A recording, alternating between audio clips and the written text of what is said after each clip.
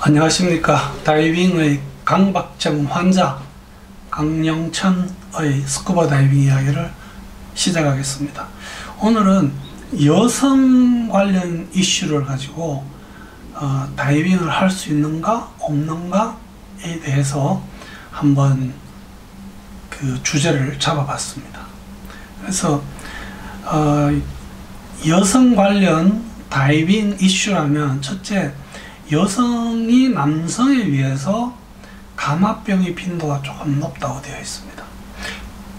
그거부터 애기 젖 먹일 때 다이빙해도 되는가? 그 다음에 임신. 다이빙을 하는 중간에 임신을 해도 되느냐? 그 다음에 임신한 사람은 다이빙해도 되느냐? 애기 놓고 나면 출산 후에는 언제 다이빙을 하느냐 그 다음에 맨스 때 내가 피임약을 먹고 있을 때 또 여자분들이 특히 어느 정도 연세가 들면 남자에 비해서 골다공증이 많아집니다. 그런 경우에 다이빙 드물지만 어, 월경이 시작하기 전에 어떤 심리적인 변화를 겪는 여자분들이 계십니다. 월경 전 정후군이라고 하고요.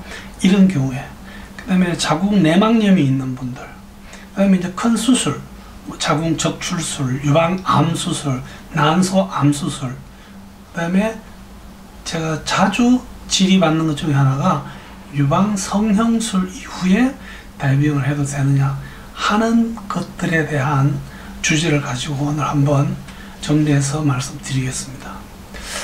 여성이 아직은 세계적으로 남자에 비해서 다이빙하는 어, 퍼센트가 낮습니다.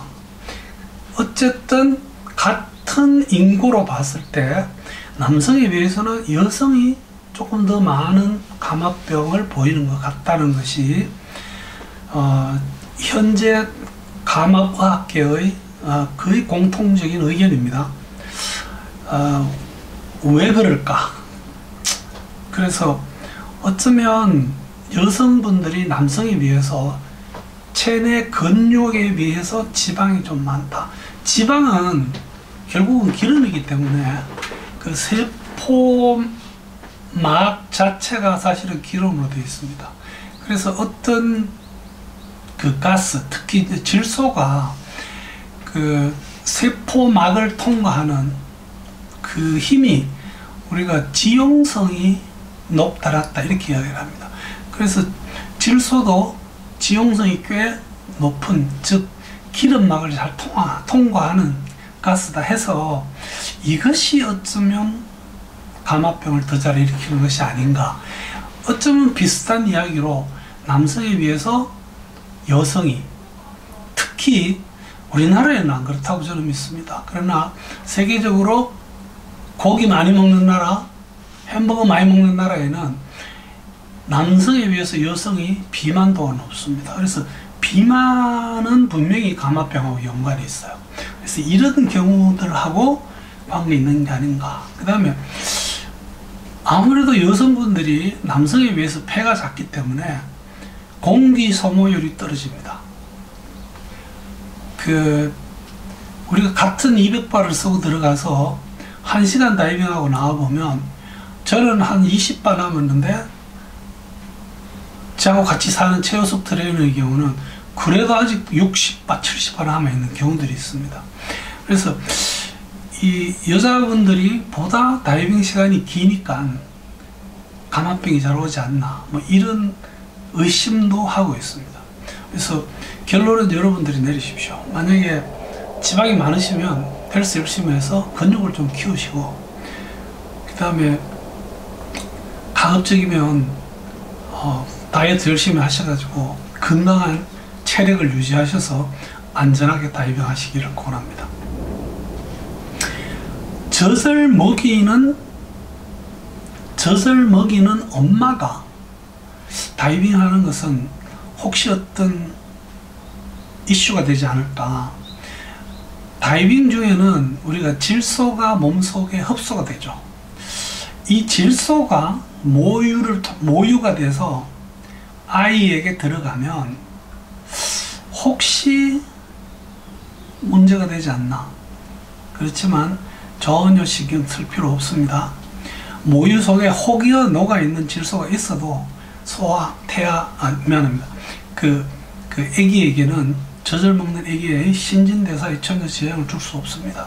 그래서 마음 놓고 그 출산 후에 유방에 염증만 없다면 다이빙에 전혀 방해가 되지 않겠습니다. 임신했을 때 다이빙 해도 되나? 아, 이거 참, 아, 미안합니다. 다이빙을 하는 동안에 우리가 임신을 위한 행위를 하는 것은 어떤 의미가 있는가?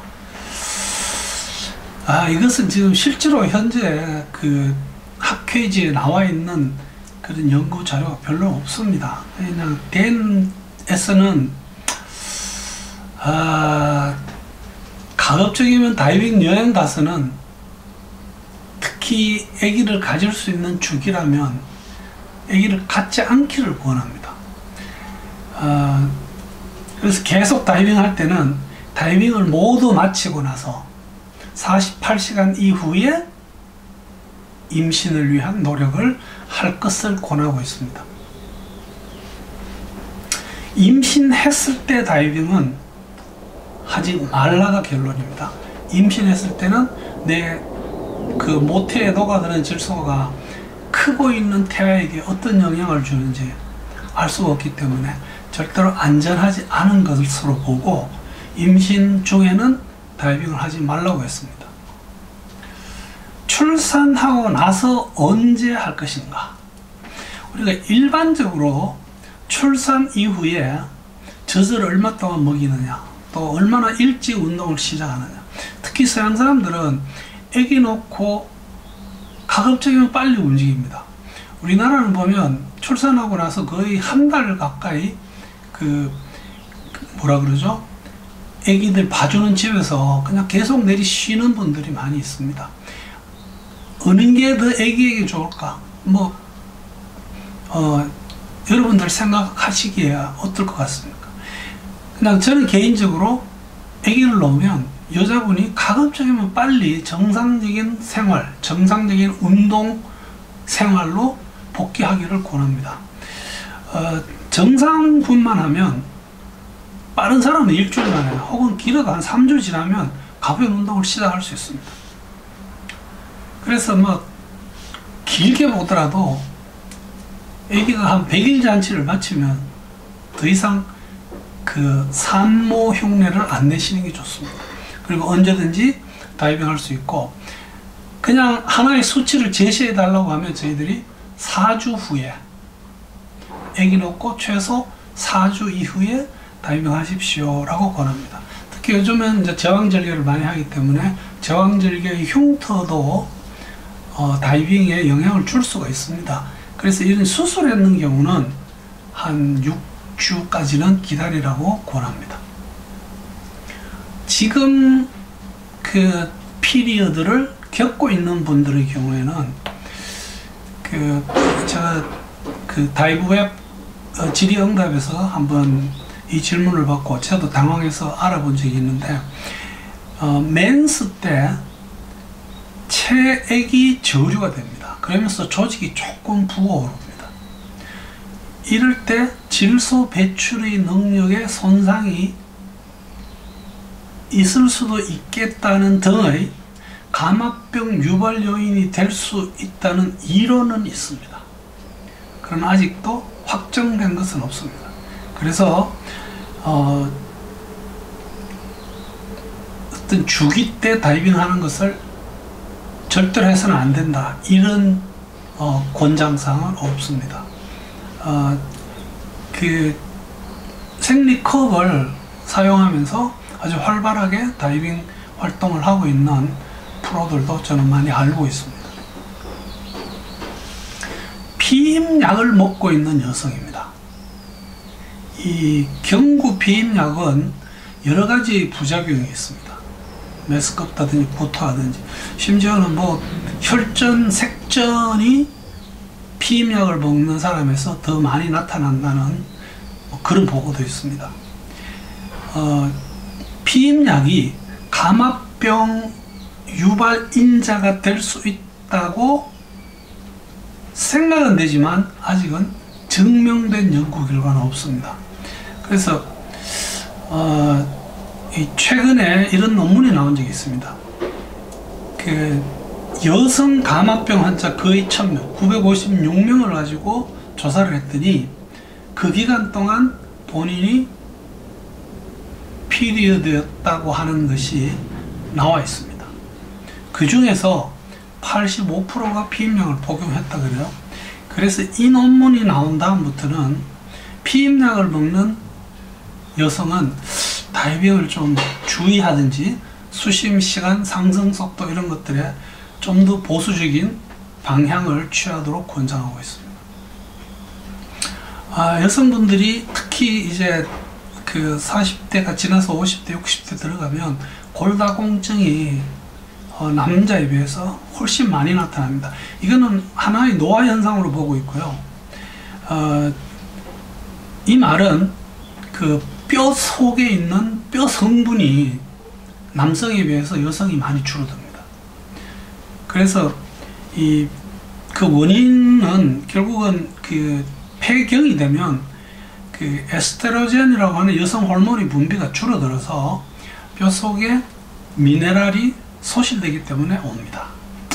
어, 아무래도 이 골다공증이 심한 분들은 조금 다쳐도 뼈가 부러지거나 혹은 고리 괴사를 일으키는 경우들이 어, 위험성이 높아지기 때문에 역시 골다공증 환자는 다이빙을 좀 조심스럽게 할 것을 권하고 있습니다.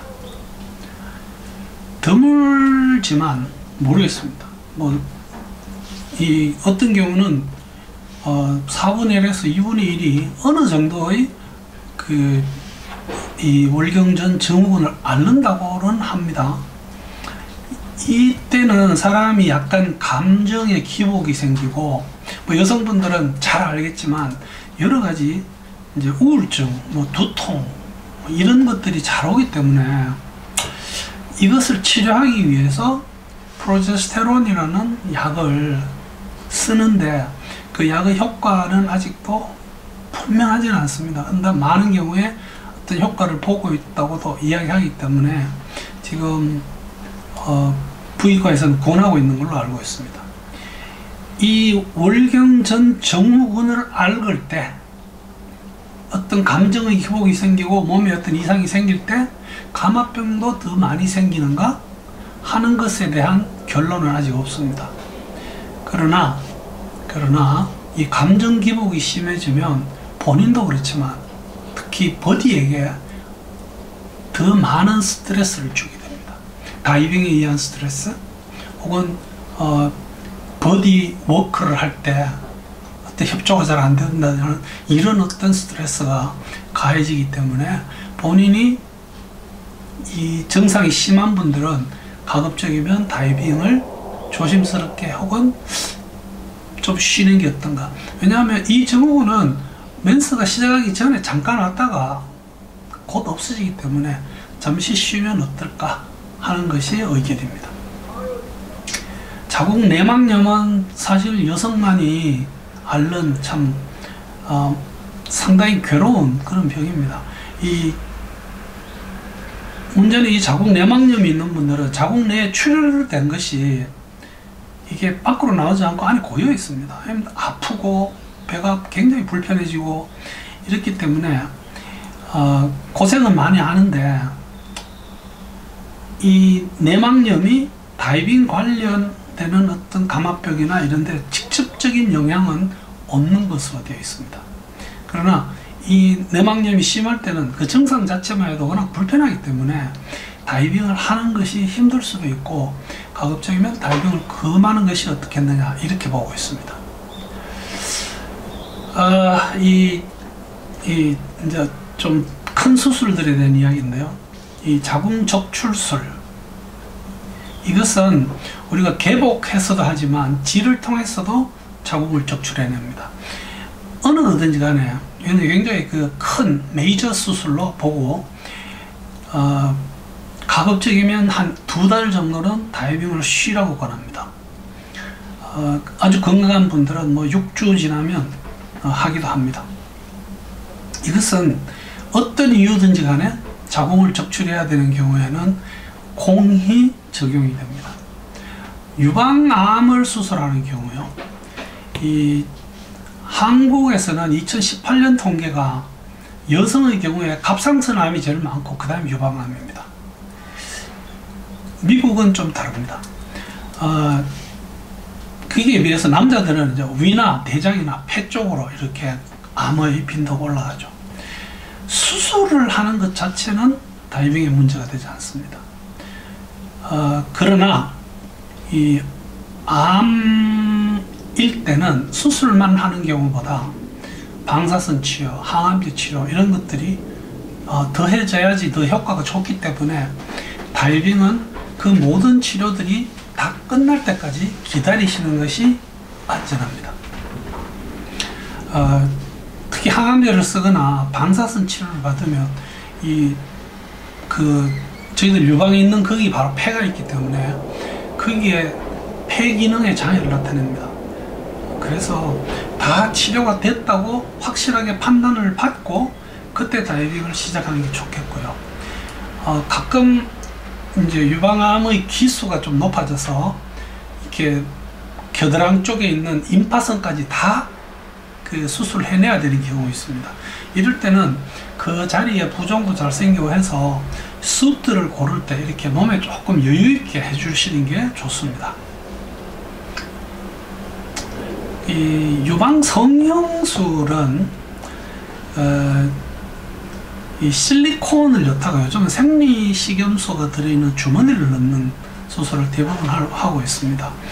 어, 실제로 생리 식염소는 중성부력이니까 다이빙의 부력에는 크게 영향을 주지 않습니다. 실리콘의 경우는 이게 음성 부력입니다. 그래서 이 부력이나 트림에 아주 미세한 영향을 줄 수 있는 걸로 되어 있습니다. 어, 이 BC, BCD를 입을 때 이 체스트 끈이 있죠. 이것을 너무 타이트하게 하면 수술하고 나서 그 부위를 누르기 때문에 좀 불편하게 느낌을 가질 수 있습니다. 그 이외에는 어떤 걸 했든지 수술 기간이 끝나고 어떤 상처가 다 낫고 나면 한 4주 정도 보면 충분히 다이빙을 할 수 있습니다. 어, 난소 종양의 경우도 수술을 하는데 이 역시 수술과 항암 치료 그다음에 그 항암제 치료의 모든 어떤 그 치료가 다 끝난 다음에 그, 그 치료의 후유증이 없고 그 다음에 신체와 근육의 힘이 회복되면 그때 다이빙 할 수 있습니다. 만약에 수술만 했다고 하면 이것도 큰 수술로 간주해서 최소 6주 혹은 8주 정도를 기다리라고 되어 있습니다. 어, 오늘의 주제는 그 여성과 관계되는 다이빙 이슈에 대해서 다뤄봤습니다. 그래서 그 여자분에게 약간의 감압병 빈도가 높다는 말씀을 드렸고 그 이외에 수유, 그 다음에 다이빙과 임신, 또 임신과 다이빙, 출산 후, 월경 중, 피임약 복용할 때 골다공증, 월경전 정후까지 다뤘고요. 그 다음에 큰 수술을 하고 나서는 충분한 기간, 수술만을 했을 때도 4 내지 8주, 혹은 항암 치료와 그 방사선 치료를 겸했을 때는 그 치료의 그 악영향이 내 몸에 더 이상 존재하지 않을 때까지 기다려서 다이빙을 하시는 것이 좋겠습니다.